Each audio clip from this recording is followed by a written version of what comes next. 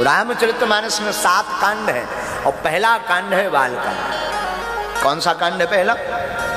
बाल कांड बाल कांड में नौ श्लोक मंगलाचरण के?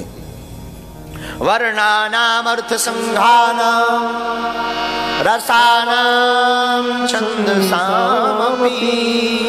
मंगलानाम च कर्तारो। वंदे वाणी विनायक। पहले मंगलाचरण के श्लोक में, माँ सरस्वती की वंदना, गणेश जी की बाद में। वंदे वाणी विनायक। वाणी यानी सरस्वती। कोई हमसे पूछे कि सरस्वती की वंदना क्यों? बहुत से लोग कहते गोस्वामी तुलसीदास जी नारियों के विरोधी थे, एक चौपाई को लेकर। ढोल गवार शूद्र पशुनारी सकल ताड़ना के अधिकार। तो बोले, स्त्रियों के विरोधी ना ना ना। गोस्वामी जी स्त्रियों के पक्षधर हैं, माताओं के पक्षधर हैं। और पहले श्लोक में इसलिए गोस्वामी जी ने माताओं की वंदना की है। माँ कौन है? सरस्वती। यत्र नार्यस्तु पूज्यन्ते, रमन्ते तत्र देवता। जहाँ नारियों की पूजा, वहाँ देवता वास करते हैं। भारत हमारा माताओं का पूजक है मेरे माई बाप भारत हम उस जन, उस भूमि से हैं जहाँ पृथ्वी को भी माता माता कहते और देश को भी माता कहते। भारत माता। हमारे यहाँ माताओं की पूजा है। बहुत से लोग कहते हैं आप महिमा क्यों गाते? भारत धन से ज़रूर संपन्न रहा होगा खबर नहीं आज है या ना खब, नहीं मुझे खबर। लोग मुझसे पूछे कि भारत विश्व गुरु क्यों था? भारत संस्कारों के धन के कारण विश्व गुरु था है और रहेगा। जहाँ स्त्रियों में माँ के दर्शन भारत करता है कोई स्त्री निकले माँ। हमारे भारत के अद्भुत संत स्वामी विवेकानंद। शिकागो के धर्म सम्मेलन में गए।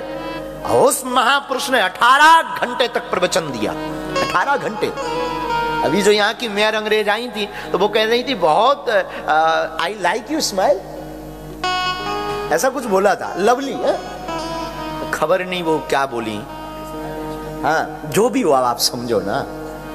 तो वो बोल रही थी, अब उन्हें क्या बताएँ? हमारे भारत का तो सत्य का उपासक मुस्कुराता ही है, प्यारे। जो सत्य का उपासक होता, वो मुस्कुराता है। स्वामी विवेकानंद जब शिकागो के धर्म सम्मेलन में उद्बोधन कर रहे थे 18 घंटे तक तो पहला शब्द था उनका, ब्रदर्स एंड सिस्टर्स। जब 18 घंटे प्रवचन कर लिए, बहुत दिनों तक उनकी ख्याति पहुँची।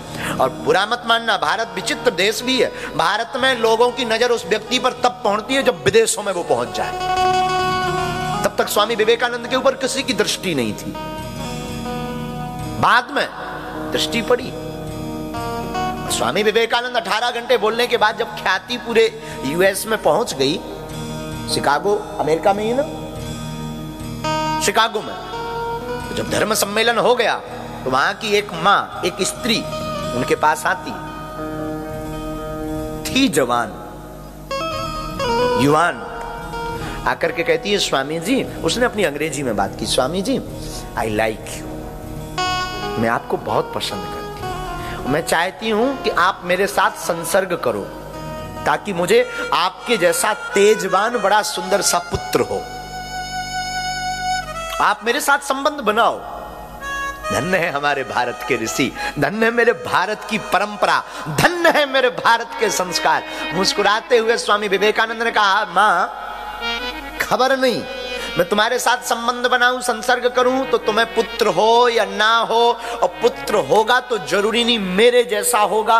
कहा तुम 18 वर्ष तक इंतज़ार करोगी, पालन पोषण करोगी, उसकी रक्षा सुरक्षा करोगी। एक काम करो, आज से तुम हमारी माँ हम तुम्हारे बेटा। कहानी खत्म। हमारे भारत के ऋषियों की सुंदरता है साहब। लोग कहते भारत में क्या है? हमारे भारत में यही संस्कार तो परम धन है। यत्र नार्यस्तु पूज्यंते यहाँ नारियों की पूजा है भारत में। हमारा भारत वृक्षों की पूजा करता। हमारा भारत जीवों में भी भगवान के दर्शन करता। हाथी में गजराज के दर्शन, गणेश के दर्शन। हम लोग जीवों जीवों में भी, बैल में हम लोग नंदी के दर्शन करते। हम लोग गाय में माँ के दर्शन करते, विश्व की माँ। गावो विश्वस मातरहा विश्व की माँ गाय है। विश्व की माँ के दर्शन करते, हम लोग अपने देश में भारत माँ के दर्शन करते। लोग कहते, गोस्वामी जी, नारी विरोधी थे। हम कहते थे, गोस्वामी जी जैसा कोई स्त्री पक्षधर हुआ नहीं। वर्णानामर्थ संघानाम रसानाम छंदसामपि मंगलानाम च कर्तारो वंदे पहले श्लोक में सरस्वती की वंदना भगवान गणेश की वंदना। गणेश जी की वंदना गोस्वामी जी कर रहे हैं, प्रणाम कर रहे हैं गणेश जी को। धन्य है आप। भवानी शंकर वंदे श्रद्धा विश्वास रूपणौ याभ्याम विना न पश्यन्ति।